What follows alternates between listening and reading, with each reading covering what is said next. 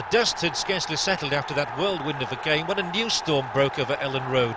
David Batty, whose appearance as sub against Blackburn had seemed to fire Leeds' fight back, was to take Jack Walker's shilling and leave his native Leeds for Rovers. My job here uh, fills every waking hour of the day at the moment anyway.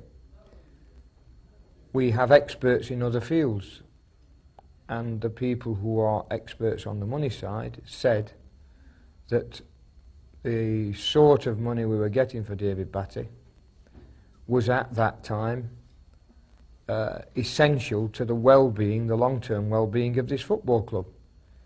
And uh, I listen to what they say. I understand their reasons for saying it.